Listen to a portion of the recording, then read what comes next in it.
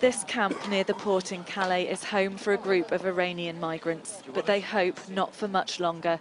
Their dream to get to Britain is often promised by smugglers who come here almost daily. Ahmad paid 500 euros to a man who took him hidden in the back of a van to a beach with seven other migrants. And after 20 or half, uh, 20 or 30 minutes, we uh, got there and uh, the boat is uh, ready. Everything is ready for uh, pass, for cross.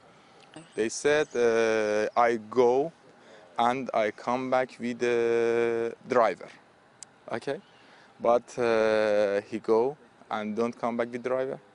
And after he uh, say he he saw us and he don't go, and he come and with a knife he said, if you don't turn on and go, don't go, I kill you. He says this is a picture of the boat taken after they were eventually rescued. We can't independently verify the images. They were stranded for eight hours at sea after the engine cut out and the boat filled with water.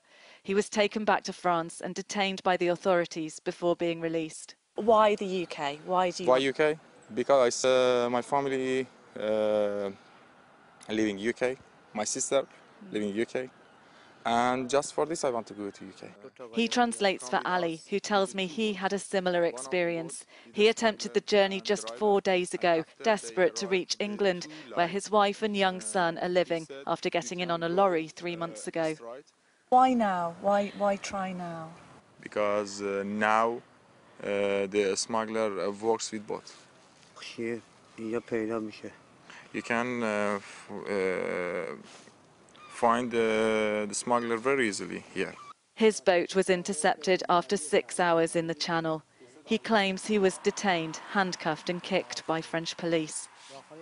Charities like Care for Calais provide the basics for migrants, but life here is harsh and the future uncertain. Charity workers are seeing more people willing to try anything to get out.